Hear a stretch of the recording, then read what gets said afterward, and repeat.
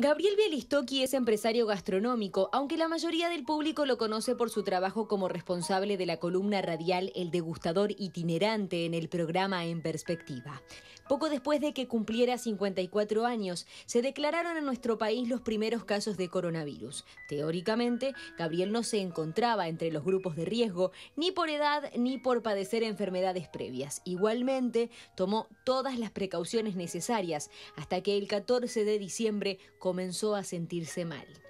Se levantó con fiebre y tras un hisopado, un par de días después, se enteró de que era positivo de COVID-19, al igual que su esposa Florencia, su hermano, su hija y el novio de esta. Excepto Florencia, que tuvo síntomas leves, los demás cursaron la enfermedad prácticamente sin darse cuenta.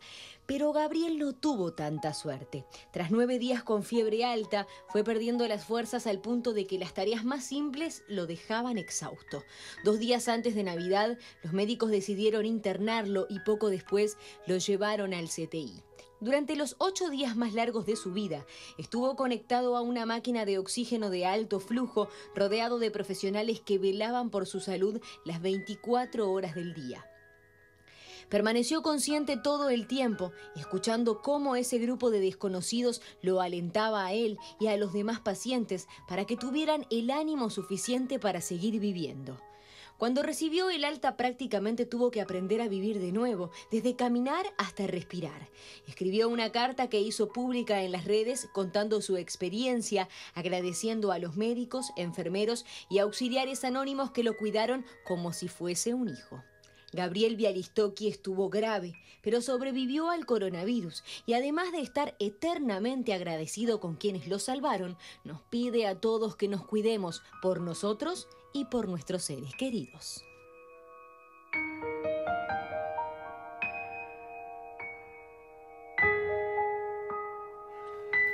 Buenos días, Gabriel. Estamos ya en comunicación contigo. Buenos días, un placer, ¿eh? ¿Cómo estás, Petru? Muy bien, bien de bien, gracias. Buenos días, Gabriel. Eh, la verdad que ¿Cómo estás? es emotivo verlos en la foto del final. Nosotros hablábamos al arranque del programa.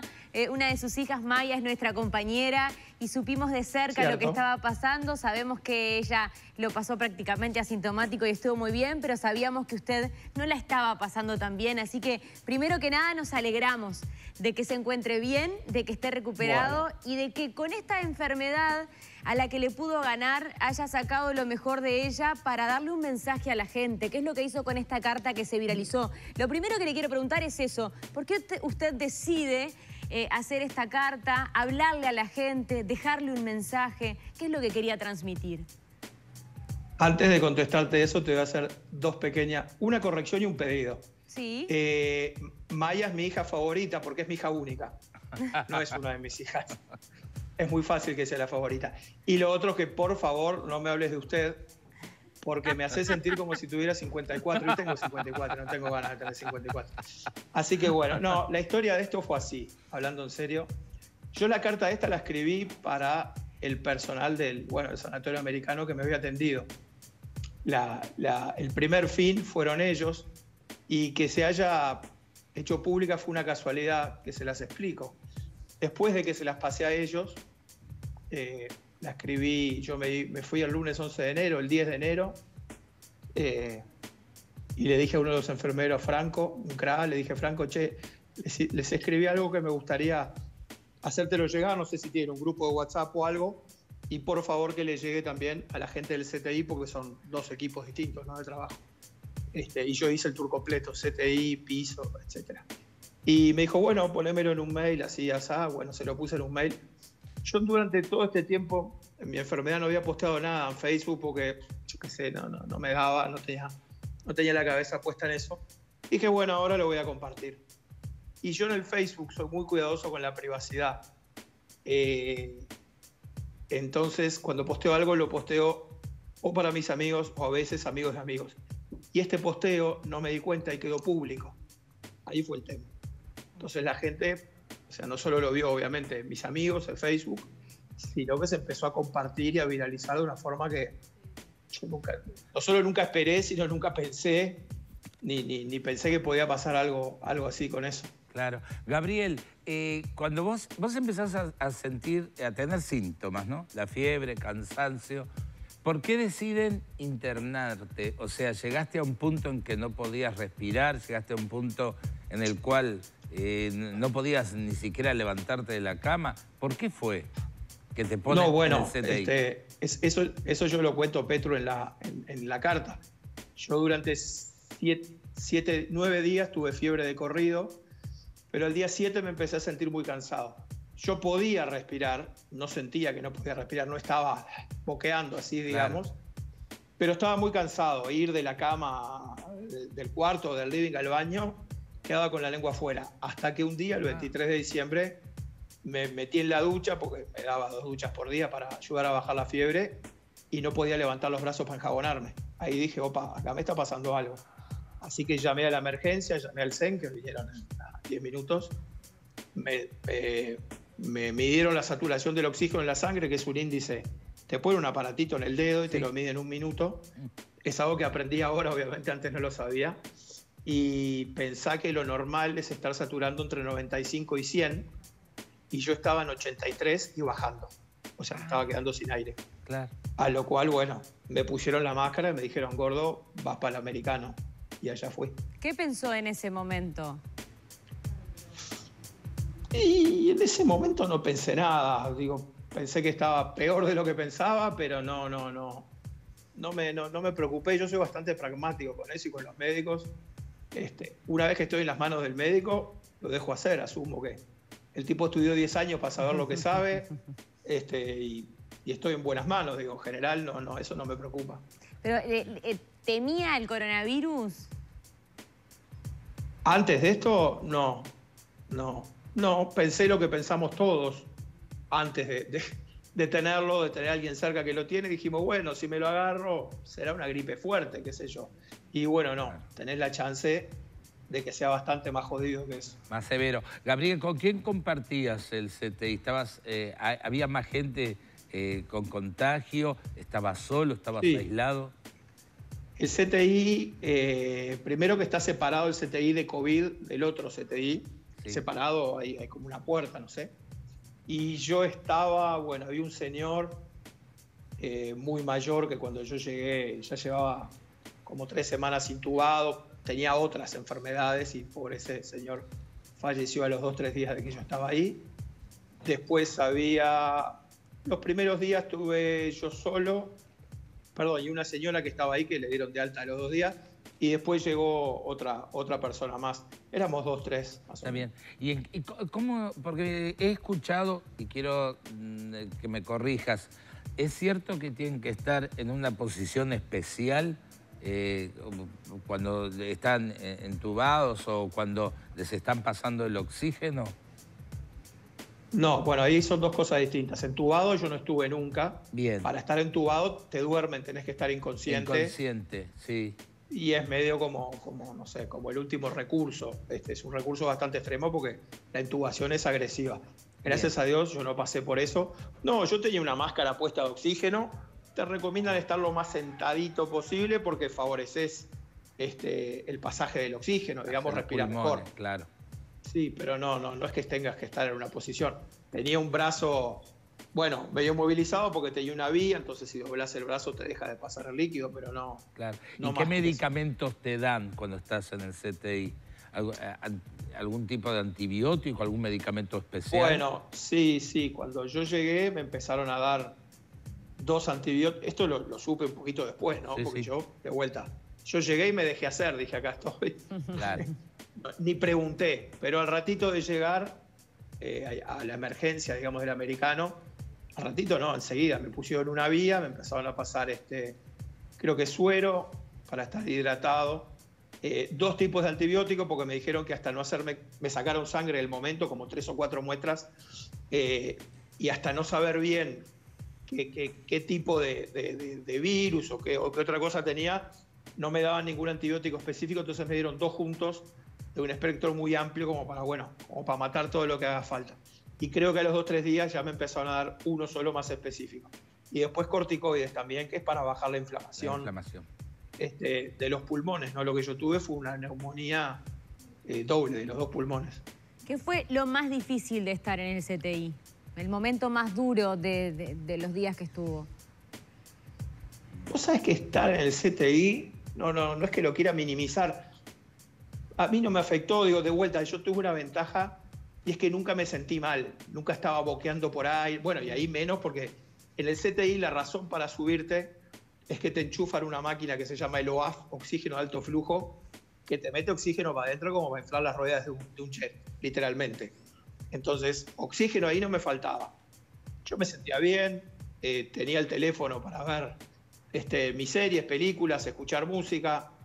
Eh, no me sentía mal. Lo difícil fue cuando me dijeron que me subían al CTI. Porque ahí dije, la puta, bueno, estoy un poco peor de lo que pensaba, ¿no? Porque si no, no me subiría al CTI. Pero bueno, eso fue, fue un ratito, pero estar ahí en sí no, no, no me complicó. No te complicó. Gabriel, ¿en qué te cambia? ¿En qué cambia a una persona, si es que te ha cambiado en algo, esta experiencia, esto que has pasado?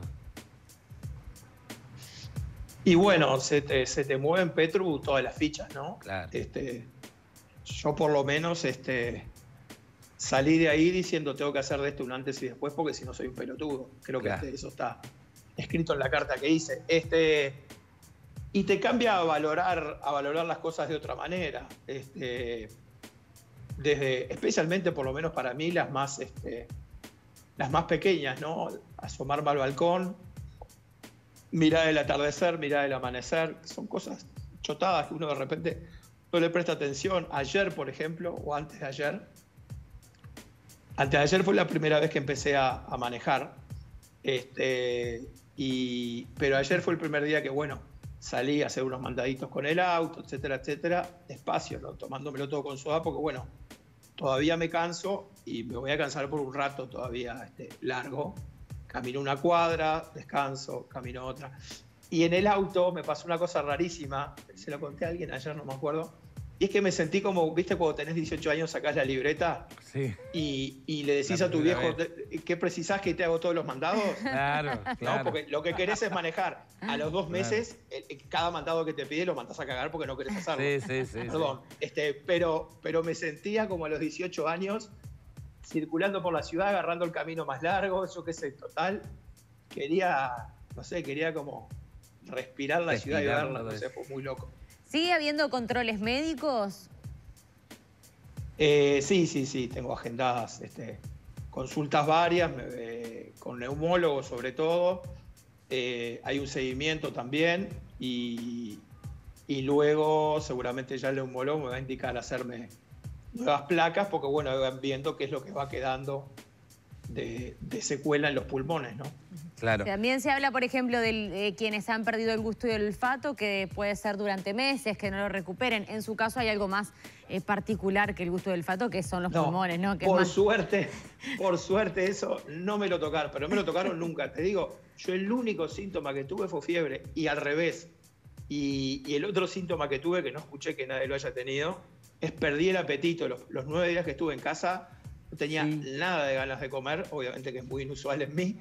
Este, y, y, no, de verdad, de hecho por eso estuve dos días cansado y, con mi esposa pensamos, bueno, estás cansado primero porque tenés fiebre hace una semana, eso te tira abajo. Y mi esposa me decía, pero gordo, no estás comiendo, obviamente vas a estar cansado, no tenés energía. Y bueno, no, era, era la falta de oxígeno. No, pero no tuve, por suerte, la pérdida del olfato, no tuve ningún otro síntoma. ¿No sabe cómo lo contrajo al, al COVID? ¿Cómo viene ese hilo? No. No, no tengo la menor idea. No, la verdad que no. De hecho, eh, yo obviamente me lo agarré con una carga viral, viral perdón, violenta. Yo contagié, bueno, a mi hija, a mi yerno y a mi, hermano, y a mi hermano, que los tres, por suerte, fueron asintomáticos. Mirá, tengo un mensaje para vos. Te lo voy a leer. Mirá qué lindo. Valeria Arevalo López. Buenos días veo todos los días el programa antes de ir a trabajar. Soy enfermera del Sanatorio Americano y conocí a Gabriel, pero yo lo llamé Jaime toda su estadía allí. Le mando un apretado abrazo y gracias por hacer visible nuestra labor y lo que hacemos con mucha dedicación y amor. Un alegrón que esté recuperado. Besotes miles.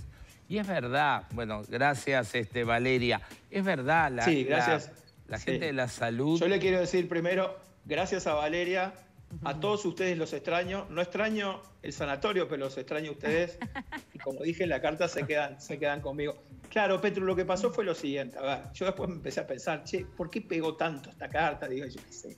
Hay 100 personas, ¿no? O 2.000 personas pueden contar una experiencia. Yo no tengo nada especial. Yo creo que lo que pasó es incluso hasta un tema de estadística. Pensá lo siguiente. Ponete que 100 personas se enferman de COVID, ¿verdad? De esas 100, ¿cuántas terminan en el hospital?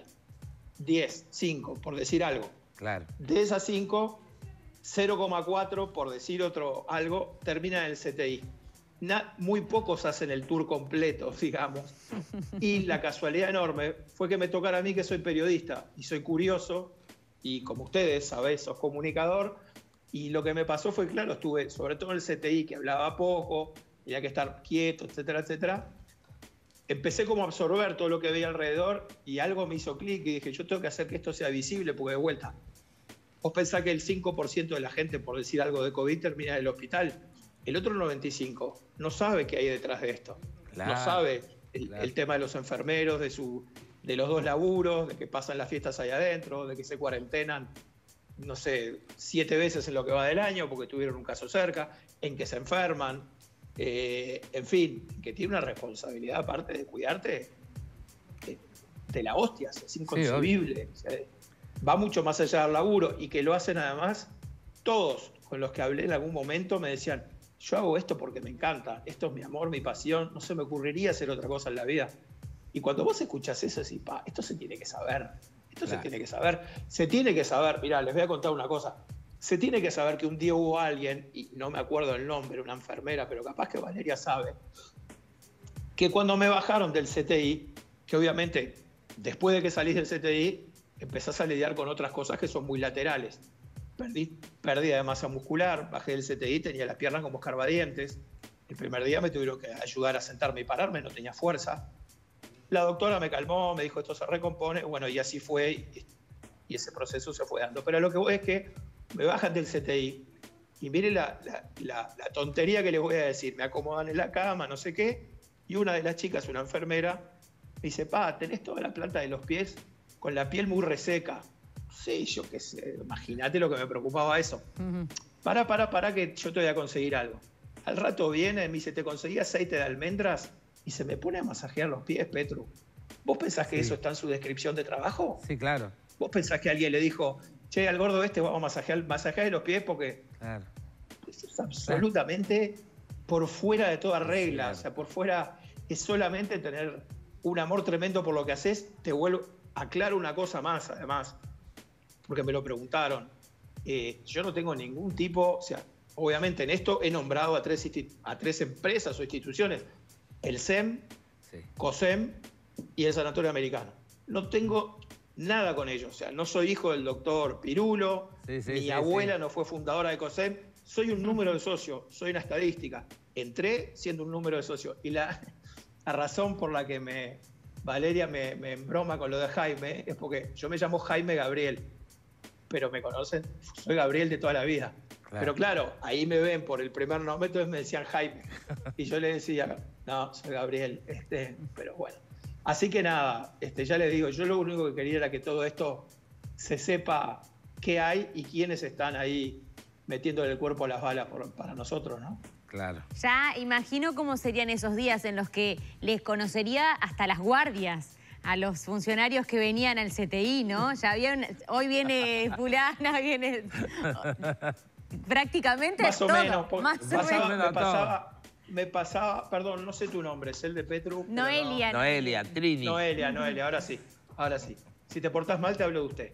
Escúchame, no, lo que, lo que te iba a decir era que me pasaba algo raro. Primero se me intercambiaban los nombres a veces porque son un ejército, pero además los, muchachos y, las enfermeras entran vestidos de astronauta, literalmente, con todo un traje, eh, eh, una, una cofia, una, una máscara, eh, la, como la visera esa de plástico, abajo unas antiparras, laburan pobres muy incómodos, pero aparte a veces alguna, había una, majo, una enfermera, que me tomaba el pelo porque yo le decía, a vos te reconozco porque sos peticita, entonces sé que sos la más peticita de todas.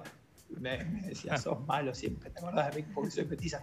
Pero claro, a veces los nombres se me, se me, iban. Se te pasaban. La verdad es muy difícil el trabajo que está haciendo eh, todo el personal de la salud, sobre todo lo que la descripción que, que, dabas de este, ese equipo que parecen casi que astronautas, que han tenido que aprender a manejarse con eso. Este, hoy en el personal de la salud, por ejemplo en el CTI del Hospital Español, hay enfermeros que trabajan seis horas y renuncian porque hay mucha presión, porque tienen miedo. Eh, es una de las realidades que estamos viviendo. Así que son realmente héroes que han tenido que aprender también. Esa es la palabra. Y están dándolo todo... Eh, y son los que también nos en redes sociales aconsejan y por favor cuídate y por no sabes lo que es. Bueno, hoy vos lo podés contar. Mírate, te dejé tratar de usted porque ya me lo dijiste como... Ah, vamos arriba, Noelia. Vamos arriba, llegaste. Solo falta que no me diga Jaime y ya estamos. Ahí está. Gabriel, muchísimas gracias por esta comunicación contigo. Y yo creo que... Gracias a ustedes por difundir, la verdad que esto, esto es necesario. No, y antes de despedirlo, ¿qué, le decís a la gente que está del otro lado? ¿Qué mensaje le darías? y primero que se cuide y trate de seguir de ese mismo lado. Este, porque cuando te toca al otro lado no está bueno, no está bueno. Este, nada, mi mensaje sobre todo es este, un poco para la gente más joven, que yo sé que en verano este, viene, sobre todo este verano, donde ya se pasaron buena parte del año encerrados, todo el mundo se quiere juntar con amigos y amigas, pero bueno, por suerte eh, ya tenemos el horizonte de la vacuna, no sé, yo calculo de acá a un mes, a dos meses, a tres, vamos a estar casi todos vacunados, así que nada, es un esfuercito más de seguirse cuidando, este, no, no aglomerarse, no a las fiestitas, por favor. Es un ratito que, hay que achicar y, si Dios quiere, en unos meses se va a poder este, nada, volver a algo parecido a la normalidad. Preguntarle si se da la vacuna es redundante porque ya dijo, vamos a estar todos vacunados. Obvio. Sí, obvio. Obvio, obvio. Es que te digo la verdad, de vuelta, no quiero polemizar con esto, ¿no? Pero he visto muchos comentarios estos días y un comentario muy inteligente que he visto en Twitter el otro día de alguien dijo, escúchame, nos venimos dando la BCG hace 40 años. Nadie sabe cuánto costó, nadie sabe qué laboratorio lo hace y nadie sabe nada, ¿no? Y esto es lo mismo. esto para mí es lo mismo. La, humanidad, eh, desde que se descubrieron las vacunas, mejoró su, su, ¿cómo se dice? su expectativa de vida en forma, no sé, se duplicó desde no sé en qué años empezaron las vacunas importantes. Y bueno, esto es parte de lo mismo. Yo, en general, en mi vida compro todos los seguros y este, para mí, es un seguro más. Muchísimas gracias, Gabriel. Y sabes que me gustaría terminar, redondear esta nota contigo y con todos los que estamos acá, pidiendo un aplauso para la gente de la salud, para todos esos héroes que nos están cuidando todos los días. Así que lo compartimos contigo. Soy el primero. Gracias, chicos. Un placer. Gracias, Gabriel.